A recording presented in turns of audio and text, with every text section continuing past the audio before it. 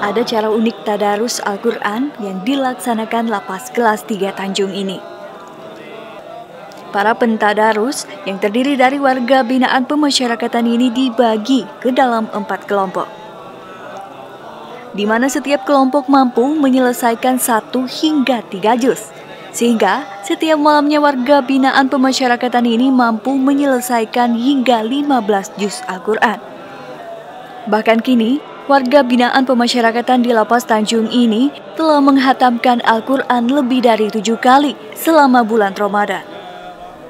Kepala Lembaga Pemasyarakatan Kelas 3 Tanjung Herliadi mengatakan, Tadarus Al-Quran ini merupakan salah satu program kepribadian kerohanian lapas kelas 3 Tanjung bagi warga binaan selama bulan Ramadan. Diharapkan dari Tadarus yang dilaksanakan tiap malam ini mem tambah memperlancar uh, bacaan Al-Qur'annya, hatinya tambah tentram, pikirannya tambah uh, tambah bersih ya.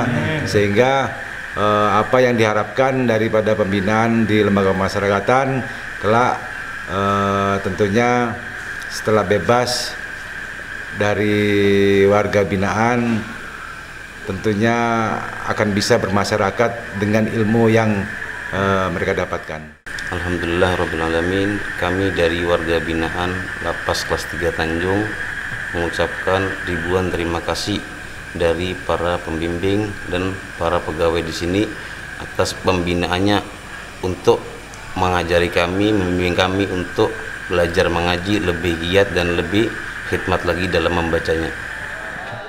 Kegiatan tadarus setiap bulan Ramadan ini agenda rutin lapas kelas 3 Tanjung dilaksanakan usai sholat tarawih bersama. Dan sedikitnya ada 24 warga binaan pemasyarakatan yang rutin mengikuti kegiatan ini.